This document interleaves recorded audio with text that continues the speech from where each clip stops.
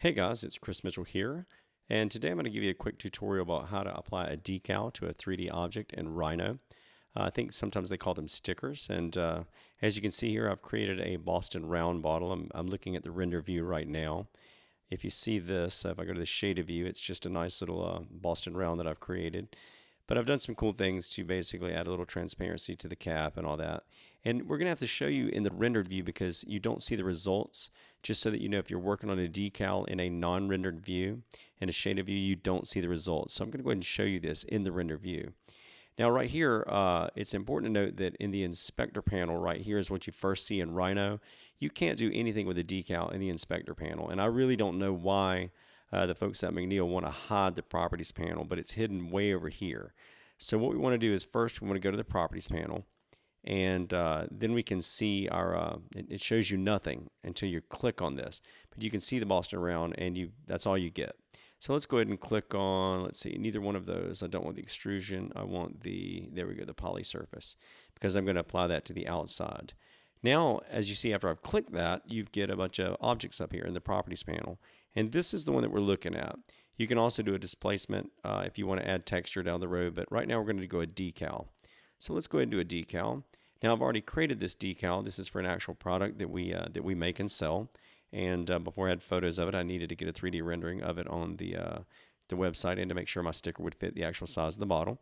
So I'm going to go ahead and add this decal, and it's the uh, I've saved it as a PNG file, as a PNG, and that is the actual uh, the artwork that I that I sent to the press and this is what we're going to use to actually do.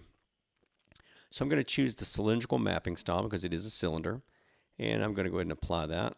Now, if you notice, your text changed over here to base of a cylinder. So that's kind of confusing because it makes me want to say the base, the lower part, which you, you certainly can, but for all intents and purposes, I'm going to go ahead and start you from the top, and you'll see why I'm doing this.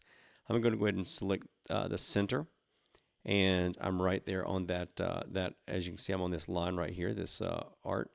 So I'm going to select center. And now under the radius, I could select, I know that this is a 0.9 radius, but I'm just going to go ahead and select that one again because again, I'm exactly where I need to be. That is the radius. So I'm select that. And the end of the cylinder, you notice that I get this really weird warping thing if I'm sitting here trying to do that. And I could, I could really try to get this right, but honestly, it's just going to squeeze and pinch. So I want to constrain that vertically. In other words, when I drag and drop that, I just want that to follow the vertical constraints. Uh, now I know the, the dimensions of this, the final dimensions are going to be 2.5, so I'm going to select something kind of close to that to where it looks like the text isn't warping. I'm going to click and let go, and now it's going to ask me to sweep it.